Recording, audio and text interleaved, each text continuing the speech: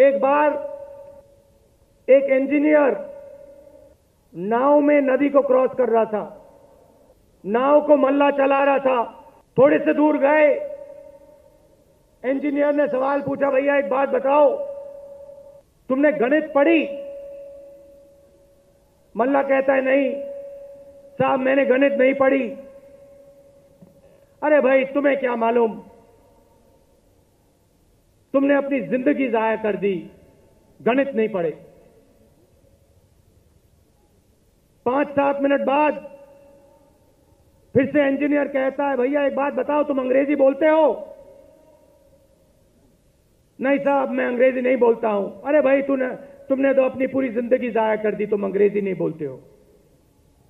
पाँच मिनट बाद फिर से इंजीनियर कहता है, सुनो तुम कंप्यूटर चला लेते हो।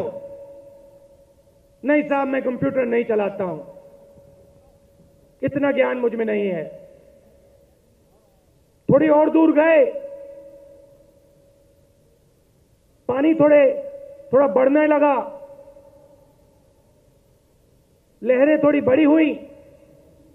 मल्ला कहता है, भैया, एक बात बताओ। आपको तैरना आता है?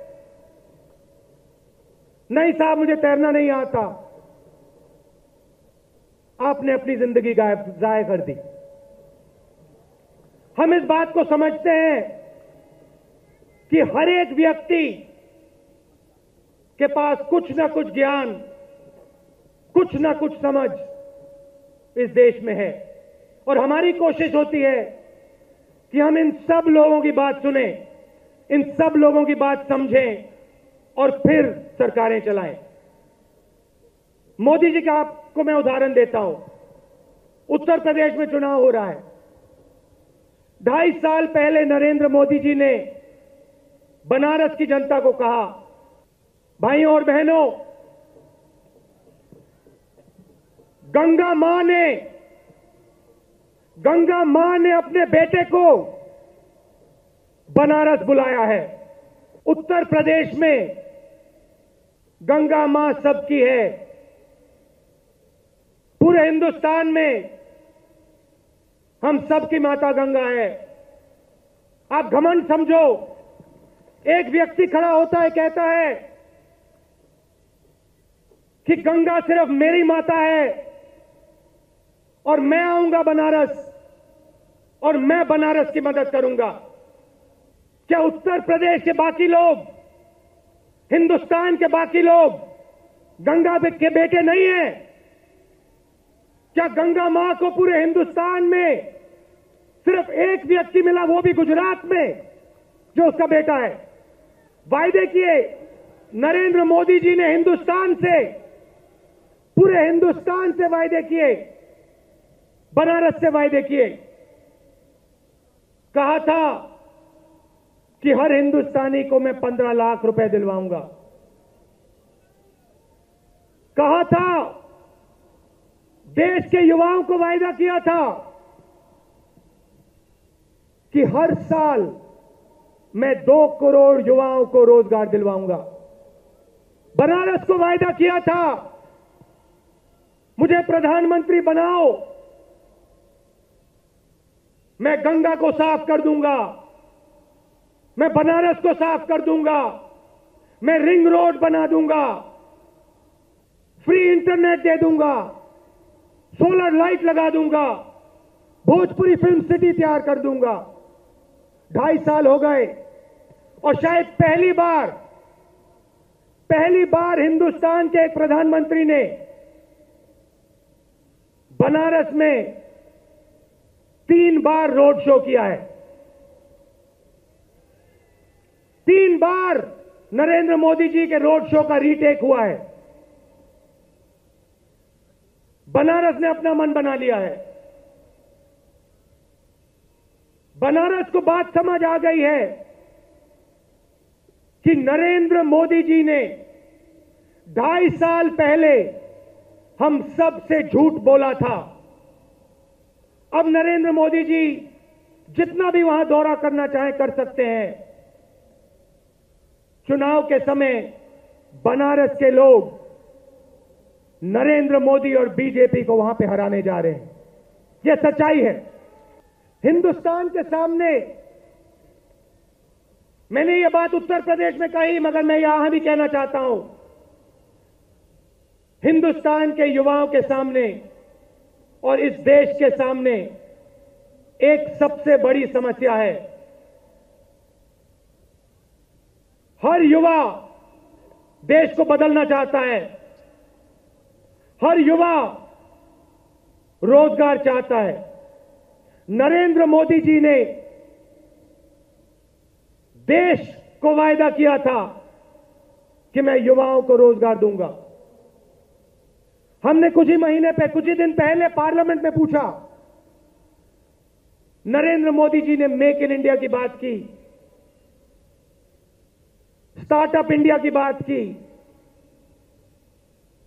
हिंदुस्तान को बदलने की बात की। हमने पार्लियामेंट में सवाल पूछा। मेक इन इंडिया के बब्बर शेर ने पिछले ढाई साल में इस देश के कितने युवाओं को रोज़गार दिया। बीजेपी के मंत्री ने जवाब दिया।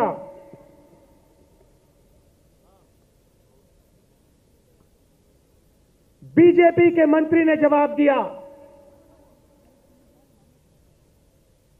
कि पिछले साल इस देश में नरेंद्र मोदी जी की सरकार ने सिर्फ़ एक लाख युवाओं को पूरे हिंदुस्तान में रोज़गार दिया।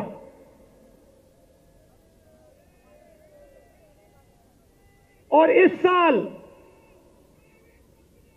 इस साल पूरे हिंदुस्तान में नरेंद्र मोदी जी ने रोज़गार किसी को नहीं दिया। सात साल से सबसे ज़्यादा बेरोजगारी आज हिंदुस्तान में है।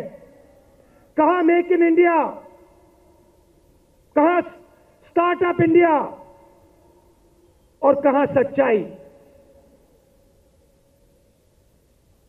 एक व्यक्ति इस देश को और इस प्रदेश को कभी नहीं बदल सकता है।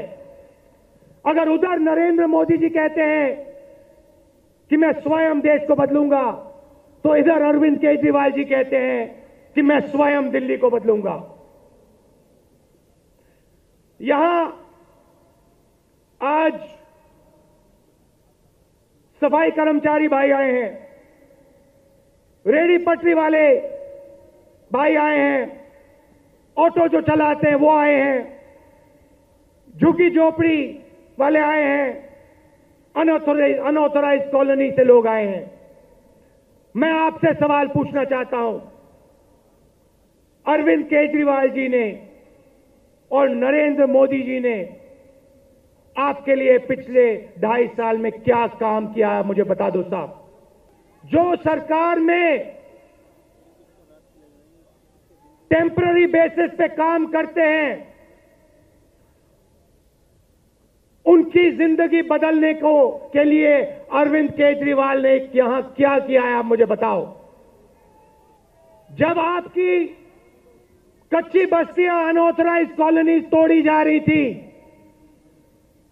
माखन जी और मैं आपको वहाँ दिखाई दिए। आपको वहाँ अरविंद केजरीवाल जी दिखाई दिए थे क्या? तो सच्चाई यह है कि झूठी, झूठे वायदों की राजनीति अरविंद केजरीवाल और नरेंद्र मोदी जी कर रहे हैं। कुछ ही दिन पहले अरविंद केजरीवाल जी की पार्टी से एक व्यक्ति मुझे मिलने आए। उनकी मदद करते हैं। मैंने उनसे पूछा, भैया, आप मुझे एक बात बताओ। दिल से मैं आपसे एक सवाल पूछना चाहता हूँ।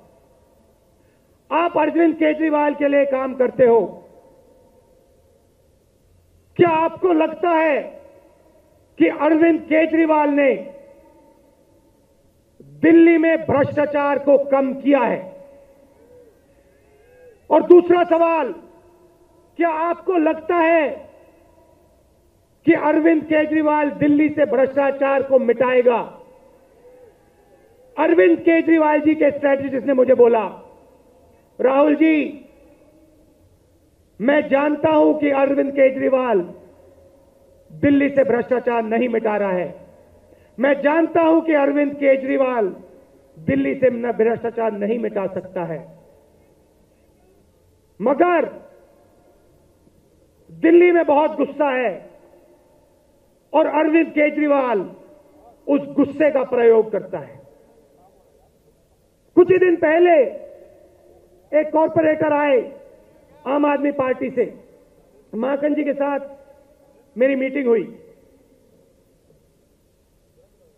मुझे कहते हैं, मैंने उनसे कहा कि देखो, कांग्रेस में वापस क्यों आए? आम आदमी पार्टी में क्यों नहीं रहे? मुझे कहता है, राहुल जी, आम आदमी पार्टी में सिर्फ़ एक व्यक्ति की बात चलती है। आम आदमी पार्टी में न मेरी चलती है, न किसी एमएलए की चलती है, न दिल्ली के किसी व्यक्ति की चलती है। आम आदमी में अरविंद केजरीवाल राजा है। यह सच्चाई है। यहाँ कांग्रेस पार्टी के वर्कर्स आए हैं। आपको दिल्ली की सरकार बनानी है। किसी एक व्यक्ति की सरकार नहीं, दिल्ली की सरकार।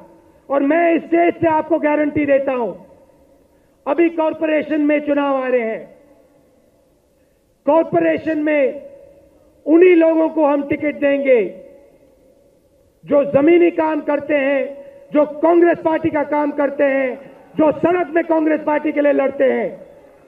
पैराशूट से, दबाव से एक टिकट नहीं दिया जाएगा। आप कांग्रेस का कार्यकर्ता अपना खून पसीना देता है। कांग्रेस का कार्यकर्ता लड़ता है और मैं आपको यहाँ गारंटी देता हूँ कि आने वाले चुनाव में कांग्रेस पार्टी के कार्यकर्ता अपने नेता चुनेगा, अपना कॉरपोरेटर चुनेगा, अपना एमएलए चुनेगा और अपना चीफ मिनिस्टर चुनेगा। नए लोगों को हम आगे बढ़ाएँगे और ऐसे लोगों को आगे बढ़ाएँगे जो सिर्फ़ बात नहीं करते हैं जो दिल्ली की लड़ाई लड़ते हैं दिल्ली की आम जनता के लिए लड़ते हैं झुकी झोपड़ियों में जाते हैं सफ़ाई कर, सफ़ाई कर्मचारियों के साथ हाथ में हाथ मिलाकर आगे बढ़ते हैं ऑटो रिक्शा वालों के साथ जो बात करते हैं उनको हम आगे बढ़ाएँगे। और जब हमारी सरकार बनेगी जब कांग्रेस पार्टी का कॉरपोरेशन बनेगा तो दिल्ली की आवाज़ उस कॉरपोरेशन में सुनाई देगी। जब कांग्रेस पार्टी के एमएलए बनेंगे, जब हम यहाँ सरकार बनाएँगे तो दिल्ली की आवाज़ उस कॉरपोरेशन में उस सरकार में सुनाई देगी। केजरीवाल जी ने और मोदी जी ने दिल्ली का और हिंदुस्तान का बहुत ज़बरदस्त नुकसान किया है। आपका इन्होंने टाइम जाया किया है। आप मुझे बताओ, जिस प्रकार से पिछले पंद्रह सालों में कांग्रेस पार्टी ने आपकी मदद की, क्या केजरीवाल जी ने आपका काम किया है? आप मुझे बताओ, इस बार जो नुकसान डेंगू ने आपको किया, जो बच्चे डेंगू के कारण मरे क्या कांग्रेस पार्टी के समय वो मरते थे? नहीं। तो सच्चाई और झूठो वायद, झूठे वायदों में बहुत फ़र्क होता है। कांग्रेस पार्टी सच्चाई की पार्टी है। कांग्रेस पार्टी जनता की बात सुनकर काम करती है। गरीब लोगों का हुआ, हिंदुस्तान के किसानों का हुआ, मजदूरों का हुआ फ़ायदा किसको पहुँचा? हिंदुस्तान के सबसे अमीर पचास परिवारों को, जिसको मोदी जी एक के बाद एक एक के बाद एक कॉन्ट्रैक्ट दे रहे हैं। पार्टी को भैया देखिए, पार्टी खड़ी है दिल्ली में। अप्रैल में आप देखना, कांग्रेस पार्टी कॉरपोरेशन चुनाव में कैसे खड़ी होती है। आप लोग कांग्रेस का कार्यकर्ता बब्बर शेर है। आपको किसी से डरने की ज़रूरत नहीं है। आप बब्बर शेर हो। आप में सत्तर साल का इतिहास है। आप समझो, आप कौन लोग हो? आप आप अरविंद केजरीवाल नहीं हो। आप नरेंद्र मोदी जी नहीं हो। आप सच्चाई हो हिंदुस्तान की। और आपने इस देश को बदलने का काम किया है। आप इस बात को मत भूलो। कि अगर हम यहाँ आज खड़े हैं तो आप लोगों ने यहाँ में खड़ा किया है। कांग्रेस पार्टी एक कार्यकर्ता ने खड़ा किया है। पंजाब की बात करिए, पंद्रह हज़ार कांग्रेस के कार्यकर्ताओं ने अपना खून दिया। असम की बात कीजिए, बीस हज़ार कांग्रेस कार्यकर्ताओं ने अपना खून दिया। अंग्रेज़ों से लड़ाई आप लड़े। आप मुझे एक बात बताओ। आप मुझे एक बात बताओ। नरेंद्र मोदी की छप्पन इंच की चेस्ट है ना? तो मुझे एक बात समझाओ।